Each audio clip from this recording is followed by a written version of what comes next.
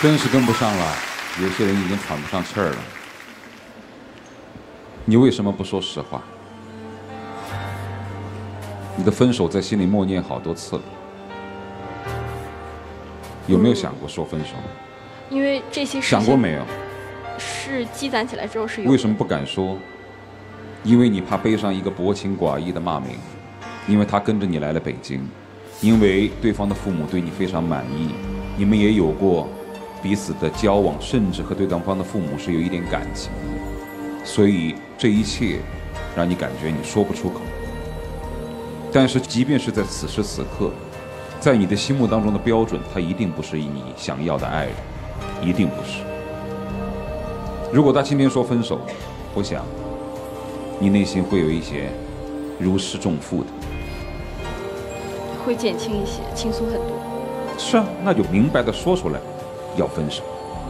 其实如果今天分了，谁也没对，谁也没错，不必背上任何所谓的心理负担。有些人心气儿很高，高到有很多梦想需要实现，就像你。但是心气儿太高的人，往往疏忽于对于自己身边亲人的注视，因为你很少低头看。有些人心气儿很低，低到只想求安稳，但是却没有一点斗志。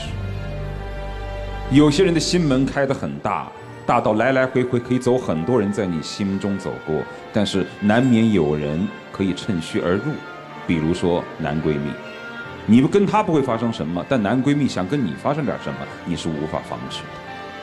但有些人心门开得很窄，窄到只有一个人能够进进出出，看上去是专一，长此以往，那就变成了自私。你们这样的两个人在一起，有没有可能？是有的，那就是等那个心气儿高的，撞得满头是包、头破血流回来了，心气儿低了。但是你还没有到达那个年纪，你还想闯，所以这没有问题，那就按照你现在的想法去。但是，请说真心话。他虽然有诸多的不道之术和无理取闹，但他敢说真心话。我心眼就是小，我知道我做出来的很多事情不符合道理，没有礼貌，不尊重，但我心里就是想把你绑在身边。可是你没有说真话，你要走就走吧。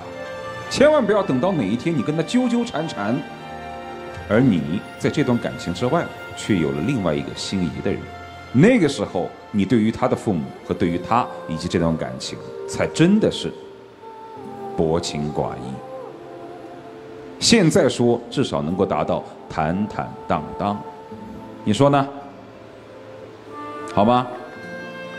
这段感情的取决权在于你，由你来说，好吧，就这样。